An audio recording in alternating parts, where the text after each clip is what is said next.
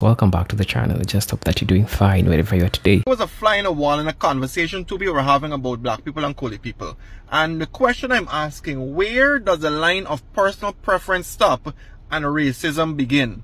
Or is the line a blurred line? So this guy was telling a girl that he has many Afro-Guyanese friends Actually, his best friend is Afro-Guyanese, but he could never see himself marrying an Afro-Guyanese girl because he prefers not to marry that race. And he was asked why, and he was saying, well, here, texture, um, cultural backgrounds, and so on and so forth. He rather marry in his own race, which is Indo-Guyanese. And it, and it struck me, it, it really struck me because in part of me saying this guy is, is being a little racist, and then part of me is saying we're entitled to personal preference. So I'm there, you know, I like mind people business. And the other person is probing a little bit more and saying, so where does this all come from? And he says, well, I was brought up in a traditional Indian home and I like my traditions. I like my background. I like my heritage and I want my kids to be um, Indo-Guyanese descent and I want them to carry on those traditions as Indians. And so is that now going beyond personal preference to cultural preference or um, heritage preference and is it borderline racist? Um, because again this guy in my opinion I've been around him a lot and, and he interacts with all races and treats everyone fairly with interactions I had. I want y'all to tell me in the comments where does personal preference cultural preference and racism, where's the boundaries? Where's the line? How can we define these things? Or is it hard to define? Yeah, let me know in the comments. Over and out. Hello guys, welcome back to the channel. Just hope that you're doing fine wherever you are today.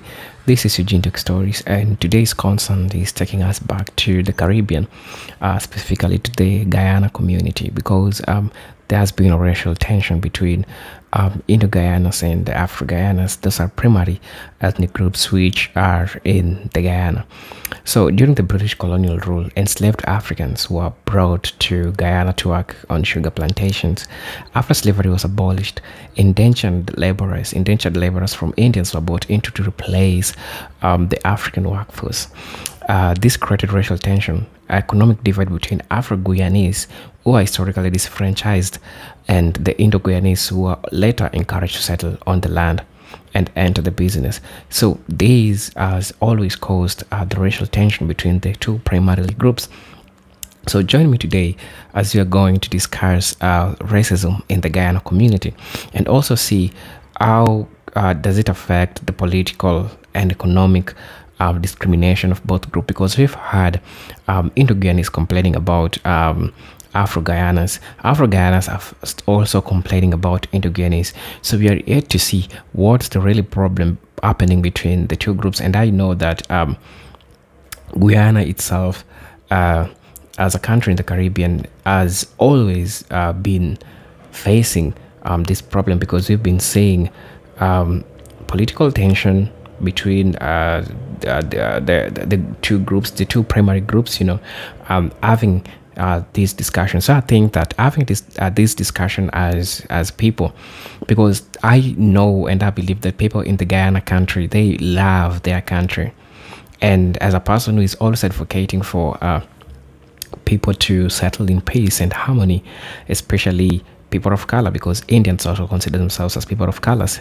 Uh, they were the indentured laborers, you know, and the Africans who went to work in the plantations. So, what are we trying to see here happening in the Guyana? There is uh, racism which is going on in the Guyana community, and people are coming out to talk about this, especially Indo Guyanas and Afro Guyanas. And I think that this is important because we need to get out and really got, get to uh, talk about this because it is important for us to have these uncomfortable discussions, call out people for what they're doing, um, describe the scenarios that people dis- uh, received um, racism, and it is important for us to, you know, talk about this. So this is your presenter, Eugene Duke Stories, and I'll be taking you through uh, this video as a presenter.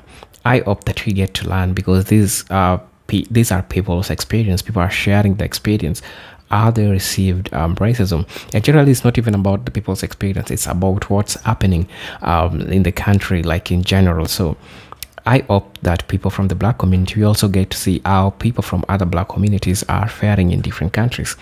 And today is not other than any other country than uh, Guyana as our focus today. So let's dive right into the video. I'll come back and offer my commentary at the end of the video i believe that we are going to learn we are going to see and we are going to um, see how people express how they feel how they feel about some issues which are happening especially racial issues which are happening in the guyana. Until then let's dive right into the video. Ppp listen up. Here to listen but what i heard is very disturbing extremely disturbing. And so my comments i stand and and reaffirm the comments of my brother Congressmember Jeffries the United States will not tolerate racism in Guyana or any other country. And I also want the officials to know that if any harm comes to Rickford Burke, let me say that again. If any harm comes to Rickford Burke or anyone on this dais or anyone in this room, there'll have to be answers. We will immediately demand answers and I can tell you uh, that someone will be held accountable for those actions.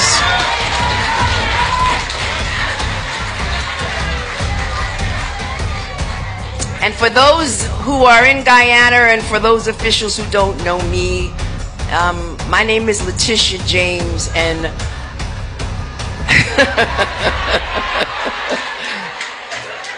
and uh,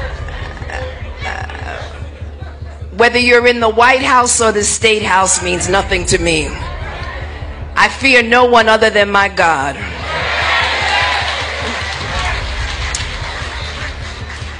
And courage is a requirement of this position. Every elected official um, requires courage and requires having a steel in your backbone. And so I believe in democratic institutions, and I believe that Guyana needs strong democratic institutions, and I will defend that. And I will abhor any discrimination or racism of any people, particularly people from the African diaspora. We have also in this country, we have attempted to root out corruption. We've attempted to address issues of poverty and we and we're not perfect in this country.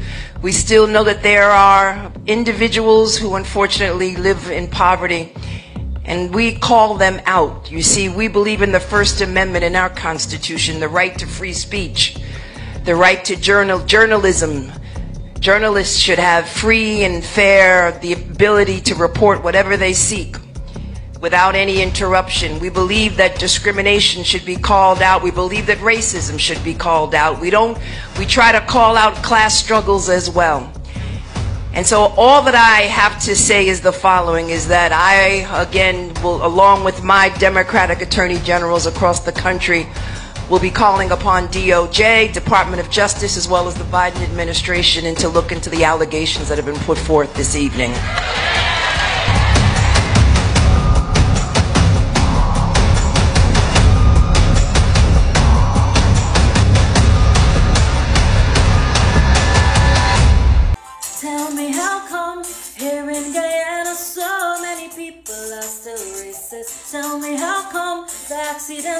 Is going up on a daily basis. Tell me how come people are suffering out the street, no food, no home, no place to stay. Tell me how come we start to ignore the issues we face. Cause life is so unfair.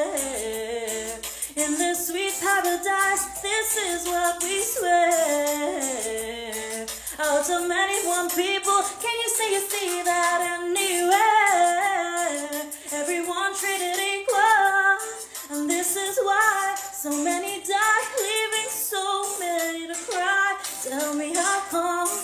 People from Trinidad and Guyana, you're not excluded from this smoke. You know damn well that the Trini Indians and the Guyanese Indians or coolies are racist or colorist. They always telling their daughter, oh, bring home an Indian boy and be vexed if they ever bring home a black man or a man with more Afrocentric features. I have a good Trinidadian friend who always say, he's like a shade lighter than me. He, will always say, I think, God, I'm not darker than, than, than any darker than how I am. Watch your mouth, boy. And I know it's not your fault, it's your parents' fault. And if that should come from slavery, but watch your mouth, boy. We love Trini, we love Guyana. But all of this dividing between black and Indian or native or ab- aboriginal, how you say, has got to stop. No one man or one woman is better than anybody just because of the color of their skin and their how straight them hair is. Idiot. Hi guys, so I wanted to talk a little bit about the last video that I had made regarding racism and prejudice against Indian people. As I'm going through the comments, I can see that it has Indian people going up against black people, black people going up against Indian people, whether it's Africans versus Indians or African Americans versus India. Let, let me just stop you there. I'm gonna remind you, we are both people of color. We are both equals. There's no reason for comments like black people trying to be like Indian people or Indian people trying to be like black people. That not making sense. Indian people and black people were both discriminated against, put into slavery, degraded, and so on and so forth. For us to be fighting with each other like this, it simply don't make sense because we are literally brother and sister. The whole purpose of my original video was to bring awareness on casual racism and prejudices against Indian people. But then as I was going through the comments, something else hit me. A lot of people are not even familiar with the history behind Indians. No one really speaks up about the struggles our ancestors faced. When the British was roaming free in Trinidad running things, when it was roaming free in India running things, and so on and so forth. Google is free. Feel free to go ahead, look up the history, go ahead and share with the world. Do as you please. But I'm going to remind you to just love one another because we are both equals. We are both brother and sister, sister and brother at the end of the day. A lot of you know my page is always good vibes only. I promote good vibes, entertainment, things like that. Occasionally the water does get hot. But that's okay because these are the conversations that we need to have. I love you guys. Stay blessed. Mwah. Now, I didn't want to respond to this comment because responding to it meant that I would have to deal with the psychology behind why this person would even ask in the first place. And I can't properly address the psychology behind it unless I know where you're actually coming from.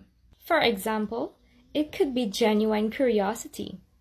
Or this person could be a racist who clearly would have a problem with me dating out of my race and thus is trying to ascertain which is true. Or maybe this person too is dating out of their race and is trying to find common ground with me so that they can ask for advice. And because I have no idea of knowing what direction this question is coming from, I'll address it from my point of view. No, my boyfriend is not Indian. And you know, for a very long time, I was completely ignorant of the fact that there are lots of people, especially in Guyana, who have a problem with interracial couples. You see, I met my boyfriend when I was 13 years old. We fell in love and started dating at a very early age. And to me, he was just a human being. He was just a guy. He was just a person with a soul and a heart for me to love. I didn't see his skin color or his hair texture because my parents never taught me to look for skin color or hair texture. My parents raised us around all sorts of people. They were always educated and forward thinking people. I was raised around black people, Amerindian people, Portuguese people, Indian people, and I never once saw the differences in physical appearance amongst those people. They were all just people. Everybody was an auntie and an uncle. Everybody was friend. I never saw a black person as different from an Indian person. Some of my parents' best friends are non-Indians. So imagine my surprise when I got older and I realized that people had a problem with my relationship. When I realized that people were so hateful and angry just because you love someone who didn't look like you. And I feel so blessed that I get to walk around and not have that burden on my shoulders, that I don't care because I get to meet people and look beyond their skin and see their soul. I get to appreciate them for who they are, and I get to meet the true person that lies within and not judge them based on an appearance. I love my partner, not because he's a non Indian, but because he is an amazing soul, a blessing to this world, someone that fills me up and makes my cup run over. And I can't wait to marry him, have children, and raise them to think just like us because the world needs more people that think this way. I was contemplating going to sit in a burial ground and to do a live from there and to remind everybody that at the end of the day, that's our final destination. That is our final destination. You want to fight, you want to break up, you can have everything. That's our final destination. My job is a very complex job. But at the end of it is what I want and what I'm going to sacrifice everything for. I've asked every member of the government, and that is a Guyana that is unified, a Guyana that delivers prosperity for all its citizens, a Guyana in which we respect each other, a Guyana in which we can have fierce debates, fierce conversation, but grounded in respect. You know, there are a lot of instances that have made uh, Guyana people to report issues of racism. Um, especially in the political and uh, in the political and economical sector, talking about politic, uh, political and economic discrimination. Um, you know, in the contemporary Guyana, Afro-Guyanese people have reported um, systemic discrimination in both political and economic spheres. The political landscape um, is often divided along ethnic lines, and this is always the problem. Any political um, you know any political and economic landscape is always divided in an ethnic sphere. Like it is always a given group that has a given party. Another ethnic group belongs to a given party and party and this is a problem. So it is racism which is mixed with a lot of things right?